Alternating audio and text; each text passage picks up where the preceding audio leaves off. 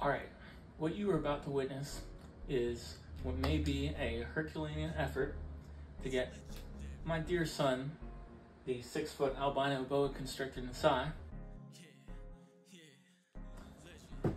into his feeding box and get him fed, despite the fact that he's been in shed for almost a week now, probably can't see very well, and bit the bejesus out of my arm last time I fed.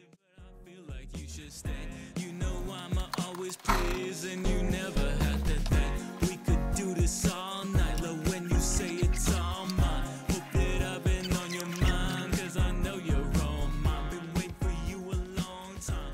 Got me feeling I know you're on mine. Know you're on mine. Never on time. Only down. on mine when it's the wrong time.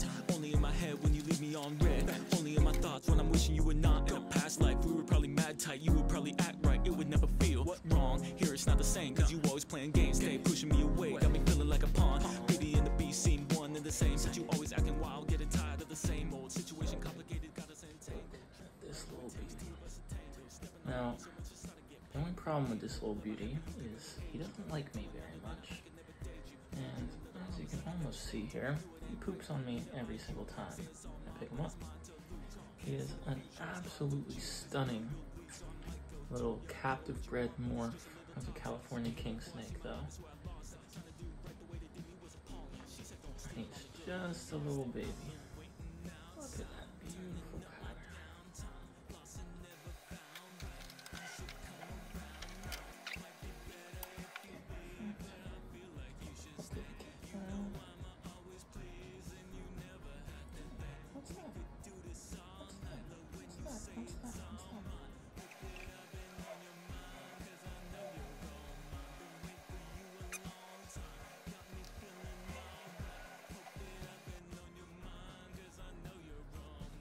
There you go.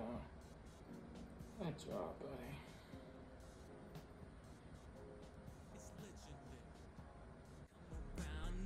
Might be better if you leave, but I feel like you should stay. You know I'ma always please, and you never had to think we could do this all night. Love when you say it's all mine.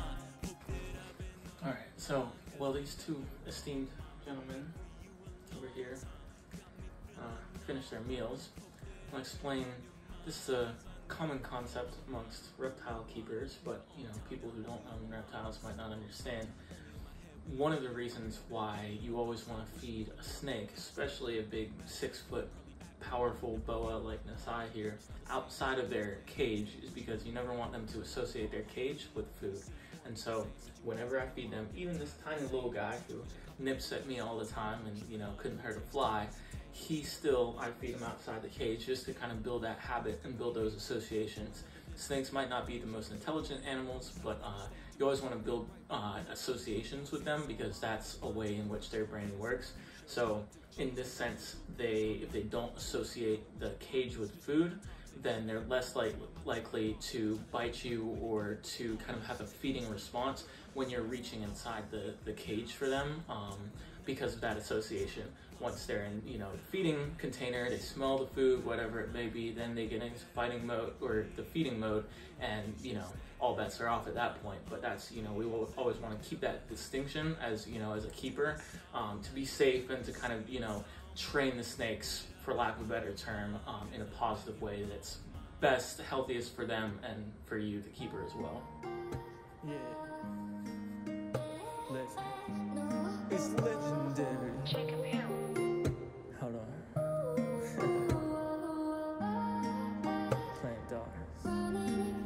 In my heart, I'm playing darts when I'm with you. But I'm shooting in the dark, I'ma miss you. In my mind, I feel alive when I'm with you. But I'm rolling bad dice when I kiss you. In the dark, I feel the sparks when I'm with you. Little Nippy here is clearly ready to uh, come out, and he, uh, still in his defensive feeding mode, is, you know, no stranger to assaulting the first thing that opens up his, uh, his little feeding tank here. And uh, luckily for me, that just so happens to be my hand. So as you can start to see, he's already striking, even with the plastic still here. But I'm going to move that because I don't want him to hurt himself while trying to hurt me, of course. And we're going to see him. I know as soon as I...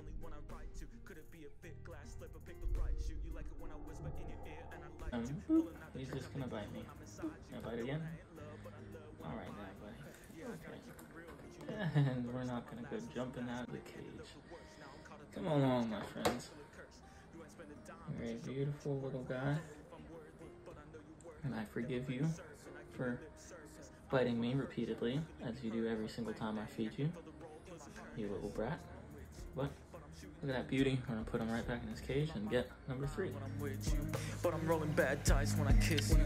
In the dark, I feel the sparks when I'm with you. But in the light, you see the scars from the pistol. In my mind, I And this right here is the absolutely stunning third star of our show here.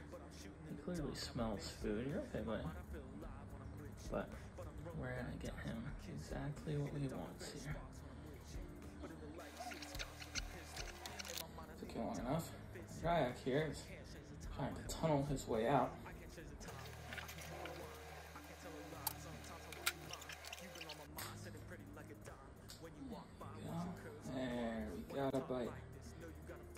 You, buddy. Yeah, get your munch on. Get your munch on.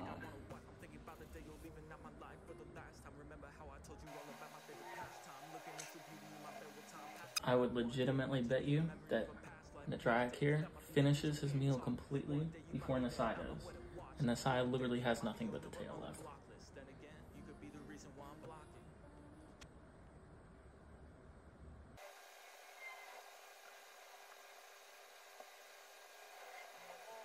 I told you.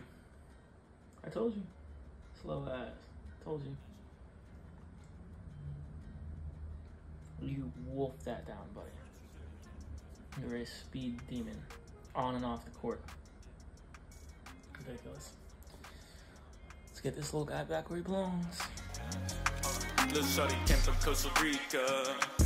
She got flowers on her sneakers. I work a little, so I don't usually do no features. Was a teacher. I said I got some things to teach ya. But where's my, but where's my manners? Nice to meet you. I'm not like these Look. other people. this little attack demon over here. Brother, you've already bitten me. You've already been fed. What more could you possibly want?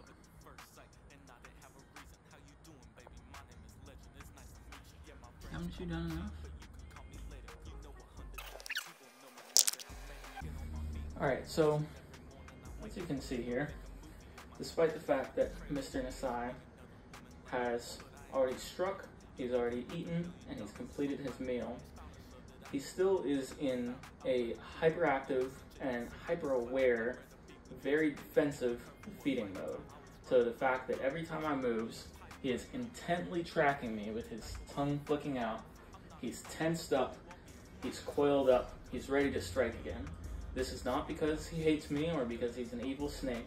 This is simply because snakes have very simple modes that their brains enter, whether that's defensive, feeding, or just their, you know, casual everyday mode. And a snake like Nassai, who a two-year-old can hold and have nothing to fear when he's in his casual mode, still is something that, you know, even an experienced keeper, a professional wrangler like me, still has to be careful of because it doesn't matter who you are, doesn't matter what you smell like, how many times you've washed your hands, which I have about six times in the last 30 minutes. He's still gonna bite me as soon as I get near him in this mode that he's in right now. So, of course, the difficult part is getting him back into his cage safely, ideally without being bitten, because that's not good for him and obviously not good for me because he has an incredibly powerful strike. Uh, he is six feet of pure muscle. Um, with that being said, there's only so much you can do. You can wait, you can wash your hands and try to get rid of, you know, any possible smell that you might have. But uh, as you can see, it doesn't matter to Mr. Nassai right now. He is locked in on me. And, uh, you know, if I tried to pick him up from the front right now, 100% chance I'm getting bitten. Now, as much as I'm sure that would give you guys a very, uh, very good show for the video, I'd really much rather not. Um, and so I'm gonna wait just a little bit longer, unless he gets too antsy and starts getting out of his little bin here, um, before I pick him up and put him back in the cage.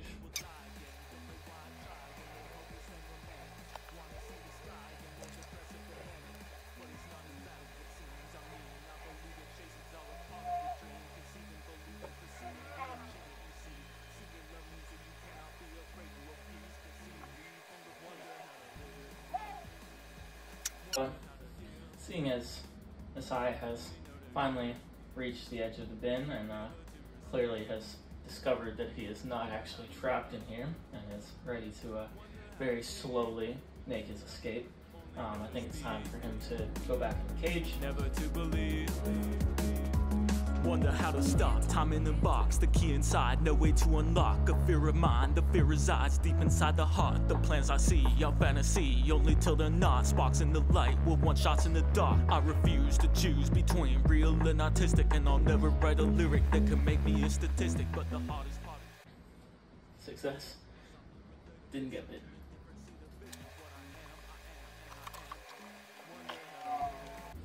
Alright, there you have it. Thank you for watching. Hopefully that was a little bit entertaining. I have a really interesting, you know, don't have 120 snakes like some, you know, reptile keepers do, but uh, got some really, really cool, interesting snakes here.